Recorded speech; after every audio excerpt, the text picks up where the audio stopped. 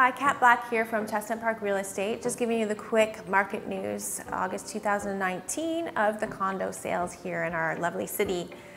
There were 1,410 sales of condos, which is only up 2.2% from last year.